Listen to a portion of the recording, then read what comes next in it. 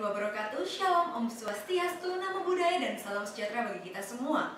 Kami adalah delegasi Fakultas Hukum Universitas Surabaya dengan saya Catherine Arianto selaku pembicara pertama, rekan saya Christian Paranto selaku pembicara kedua, dan Karisa Channelis selaku pembicara ketiga. Kami selaku tim pro setuju dengan adanya keterlibatan Dewan Perwakilan Rakyat dalam seleksi pejabat negara, di mana berdasarkan pasal 68 Undang-Undang Nomor 17 Tahun 2014, Dewan Perwakilan Rakyat dinyatakan sebagai lembaga perwakilan rakyat yang berkedudukan sebagai lembaga negara, dan berdasarkan pasal 69 Undang-Undang Nomor 17 Tahun 2014, Dewan Perwakilan Rakyat memiliki tiga fungsi utama, yaitu fungsi legislasi, fungsi anggaran, dan fungsi pengawasan. Dan dalam mosi perdebatan kita kali ini, kami ingin menyoroti fungsi pengawasan dari Dewan Perwakilan Rakyat tersebut. Oleh sebab itulah kami dari tim Pro ingin sekali lagi menegaskan kami setuju dengan adanya keterlibatan Dewan Perwakilan Rakyat dalam seleksi pejabat negara. Sekian dan terima kasih. Seperti yang telah kita ketahui, Indonesia merupakan negara yang menganut sistem demokrasi, lebih tepatnya sistem demokrasi representatif. Sistem demokrasi ini diatur dalam pasal 1 ayat 2 Undang-Undang Dasar Negara Republik Indonesia tahun 1945 yang menyatakan bahwa kedaulatan berada di tangan rakyat dan dilaksanakan menurut Undang-Undang Dasar.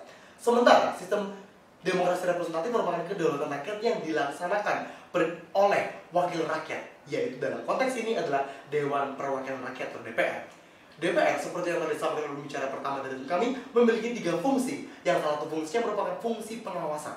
Fungsi pengawasan inilah yang memberikan kewenangan bagi DPR untuk dapat terlibat dalam seleksi pejabat negara.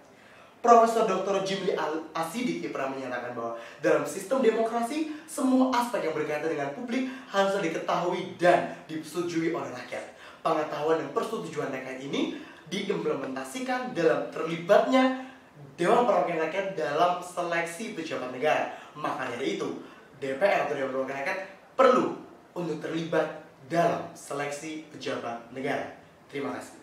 Seperti kita ketahui di Indonesia pun akan dapat sistem check and balances. Sistem ini ada dalam rangka agar masing-masing kekuasaan dapat saling mengontrol dan saling mengawasi. Keterlibatan DPR dalam seleksi pejabat negara merupakan bentuk implementasi dari sistem check and balances dari Badan Perwakilan Rakyat terhadap lembaga eksekutif dan lembaga yudisial dengan harapan dapat mencegah masuknya orang-orang yang tidak kompeten dan tidak dikendaki oleh publik untuk menduduki jabatan negara. Namun tidak dapat dipungkiri dalam implementasinya banyak terjadi praktek-praktek kecurangan tersebut tidak dapat disalahkan kepada sistem, namun dikembalikan kembali kepada integritas masing-masing pihak. Lagi selain itu, dengan menghapus keterlibatan DPR bukan berarti praktek kecurangan tersebut juga akan hilang. Karena itu kami dari tim Pro tetap menegaskan bahwa kami setuju akan keterlibatan DPR dalam seleksi pejabat negara. Sekian kami dari tim Pro, terima kasih.